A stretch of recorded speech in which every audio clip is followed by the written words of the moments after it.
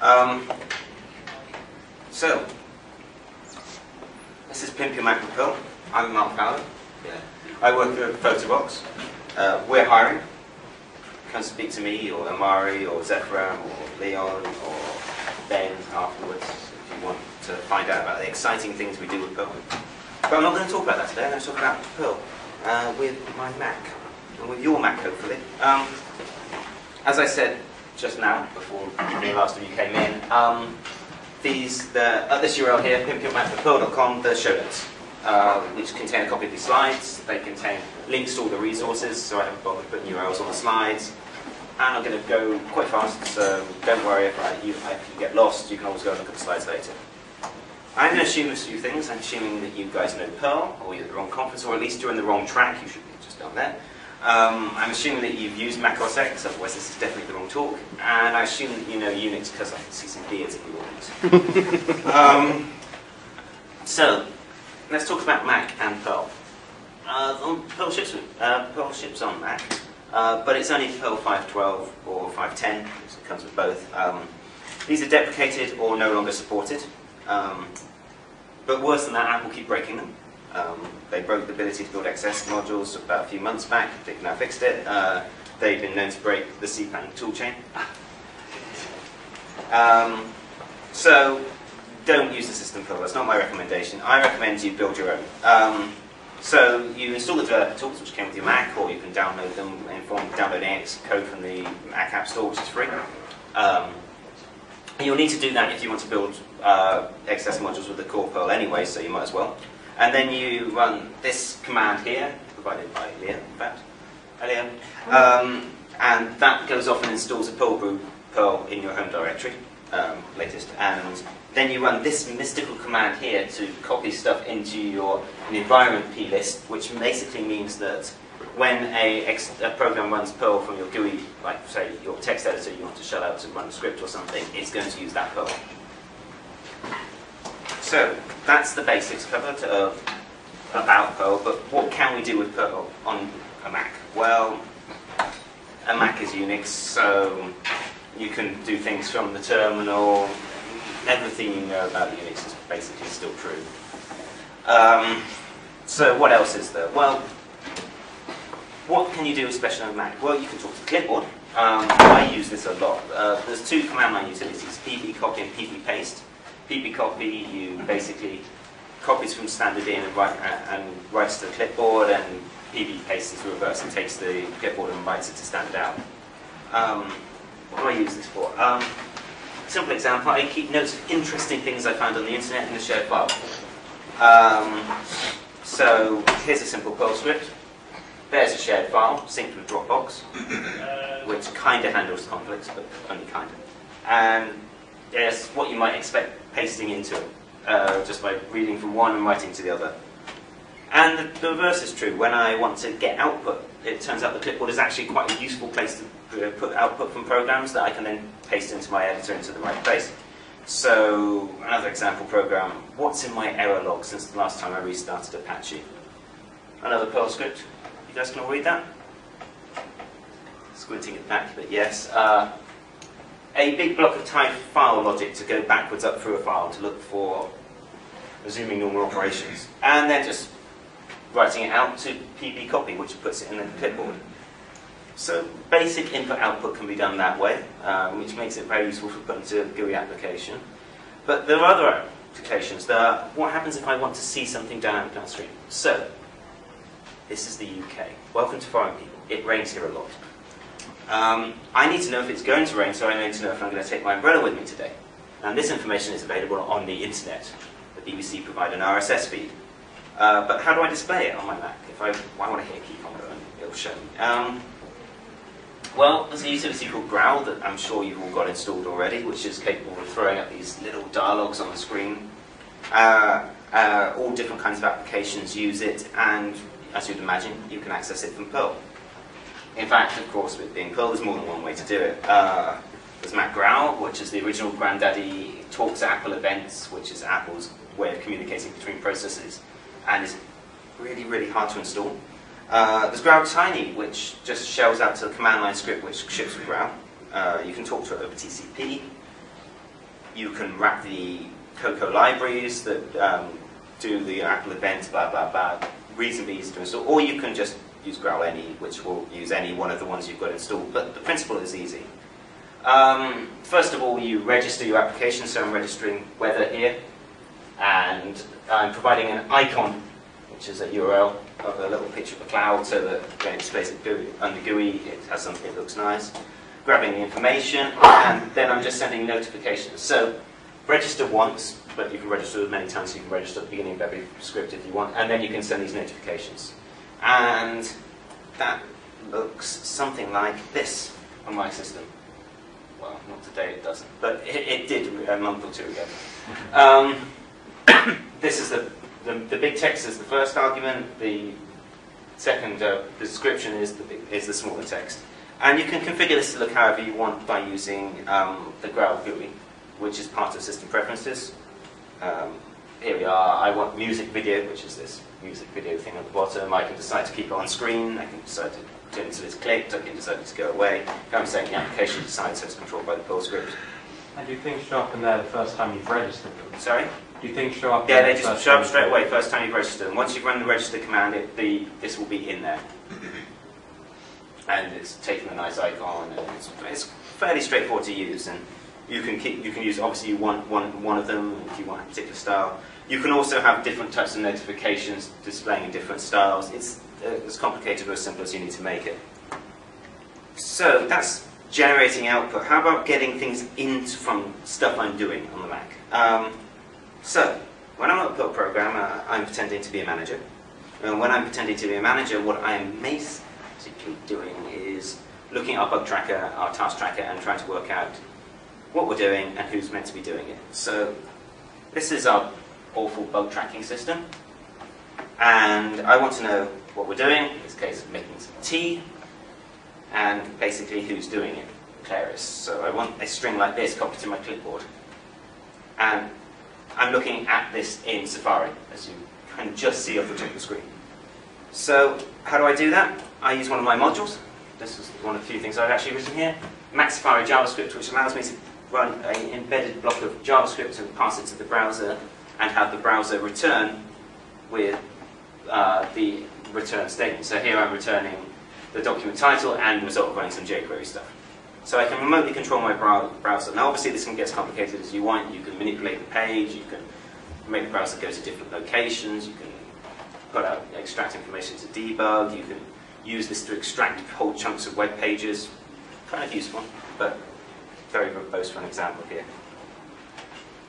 So that's kind of things that you can do on your Mac, but how do you do that? It's not like you're going to go to the command line and type these commands every time you want to do, run something like this. Uh, on the Mac, there's about five different ways to do this. Um, first of which is launchers. So you've probably used a launcher before. Um, yeah, so you basically hit key combination and you type in part of a command and the system searches for what command you're probably going to mean and produces a drop-down list or a collection of these things and you hit return and it runs it. And there's a bunch of them. There's LaunchBar, which is the original the original commercial one. There's uh, Quicksilver, which is probably the most popular. It's free. It's almost abandoned, but then came back again, and it's one that popularized it. And then there's the new Common Bot, which is uh, um, Alfred, which requires, uh, which is free but requires a paid upgrade and is available from the Mac App Store. But they basically all do this same thing, where you specify, I want to search a directory, e.g. my bin directory, and then it indexes all the files in there, and you can type them and convert them. And that's very useful for running Perl scripts. Another thing that you could do is have macro software, where you monitor your keyboard. So, um, here's an example. Uh, uh, whenever I type, so type year, month, day, QQ, it auto completes it. Uh, and when I when I happen to type the word Acme, uh, like so, oh, Meta QQ, it gives me a back, it gives me a, a uh, Batman sound effect, which is generated by Perl script using Acme Meta syntactic. And again, these are fairly straightforward to set up. Uh, the abbreviation I want, the fact uh, that I want to run a shell script, and the script I want to run. And so these can either obviously, you can have them replace text, you can also have them start to process, etc., etc. Um, what else have we got? Oh, services. Hmm, services are very cool. Um, here's a standard problem. I'm typing into a browser, into a text box. I want to type Markdown, but actually the website wants me to support um, to type in HTML. So I want to type the Markdown and convert it within the browser into um, HTML. Now, the macOS way of doing this is services. It's not a very well-known part of macOS X, but what it does is it allows you in any Cocoa, uh, is to say any normal program, to either read in the selected text, replace the selected, text, or filter the selected text. I read it in and write it back out again. And these can be created in Perl. So, an example. So, there's a form where I'm going to type some markdown in, I'm going to highlight it, I'm then going to go to the services menu and use a service I've written called convert markdown to HTML, click on it, and it's going to replace it for me. Um, and of course, the Perl script for that is very, very short. To create services, you need to use a utility called ThisService, which is uh, free and is linked from the show notes. Uh, la- oh, penultimate way, uh, keyboard shortcuts. Um, everything on the Sun can set keyboard shortcuts, global keyboard shortcuts. Your launcher can, services can be bound in the menu system, and Microsoft combines key shortcuts often. Um, this is very, very powerful, but you have to use it sparingly, otherwise you end up overriding all this other system keyboard shortcuts, and you end up 17 different keys to get some stuff. The most complicated and the most powerful way is, of course, to write an application. Now, you can write a Cocoa app, an app like this, in Perl using CamelBones. Um, that works, it's very good. Um, it's quite complicated and it's more than I'm going to go into. I've actually given a 40 minute talk on it separately and I really don't have time to go over it. The other simpler thing that you can do is just write part of an application. So this kind of application could be pretty much put together by GUI dragging and dropping. Then you shell out to something like this. So, uh, and essentially the logic to do that is like this, which I'm not going to go into, but I have linked some very easy to understand articles that can be uh, uh, from the show notes. So, let's see, uh, hmm, five minutes. Okay, doing things automatically with Perl. Um, so I've shown you how to install new Perl, I've shown you how to, uh, things you can do with Perl, I've shown you how to do things manually by launching them or running them when you do something with Perl. What about doing things automatically by Perl, with things where Perl does stuff for you? Um, for example, wouldn't it be nice if my downloads folder was tidied up for me? So after a day, everything that's in it gets moved into a per month archive directory. And that's a Perl script that does that. But the details of that aren't important. How we run that is, so this is Mac OS X, it's not Linux. We don't have an initd, and we don't, critically for this, we don't have cron. What we do have is a Mac system called LaunchD. um, what is LaunchD? LaunchD is the command and control infrastructure for, uh, for starting daemons on Mac OS X, essentially controlled by uh, plist files, which are Apple's name for basically a XML file in a particular dialect. They are stored in particular places. For example, the cron equivalent ones are stored in library launch agents, and you give them this weird reverse notation, so name com pimp Mac with Perl scripts tidy plist, familiar to Java programs. Um, but they look something like that. Um, importantly, that's the name of the, the script I'm running, so my Perl and the command line argument, the second argument is the name of the script that I'm passing to Perl. I'm saying, I'd like it to run every hour, please. And I'm saying, don't keep it alive. Which means that when it exit ends, it will just shut down normally and it will make no attempt to run it again until an hour has passed. Um, another use for LaunchD I'll explain is uh, it's a similar problem to the one I had before, which is, uh, again, writing Markdown and posting HTML. Um, it's tiresome to use the service when I'm trying to preview what it looks like in HTML. What I want is a simple live preview. Essentially what I want is, when I have a text file like this, I want to see a live preview like this. So what I need is a web server that's listening and can match the file names up and convert and do a preview for me. Which, of course, writing in Dancer is ridiculously simple. Um, and running from the command line is ridiculously simple. But I'm lazy. And I'll forget to do that, and I'll boot things up, and it won't work. And uh, so what I wanted to do is start and boot. And you do indeed uh, do that on a Linux box, but this is Mac OS X, so we need to use launchd. So another plist file, this time in library launch agents. Uh, there's my big plist file. As before, program arguments. And note the keys that are missing. I've, I haven't set, I've taken out the uh, start interval and I've taken out the disabling of keep alive. So basically, this will allow the Mac to make sure that that Plack daemon is always up. If I kill it, it will come back again. Uh, can be used for a whole host of handy monitoring stuff. Um, let's talk. Oh, okay. One. I'll talk about the last thing, and then I'll, I'll skip some of the other stuff. Uh, a last problem that I, I have addressed on my Mac is baking static HTML. So quite a few page, HTML pages I make are static. They, they're not dynamic. They're just uploaded to a standard host. But it's not quite as simple as previewing the HTML on the page. I still have to build the page with templates, convert the markdown to HTML, thumbnail images, convert images into sprites, combine and shrink, combine and shrink, compress, version, path, assets, many different things. Um, so when I'm previewing this, I need a watcher daemon to help me out here. Every time I hit save in my editor, I want the site to rebuild. Um, the traditional way to do that would be to stat the directory on, on Linux. Of course, the Mac can do better than this.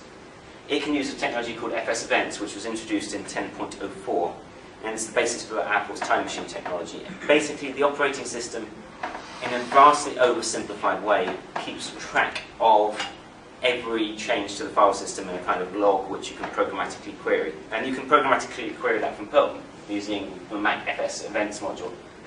If you can get it to compile, see the notes in the show notes on how to do that. Um, but here we are, I'm monitoring this directory here, and whenever there's an event, say something has changed, that would typically be a rebuild step.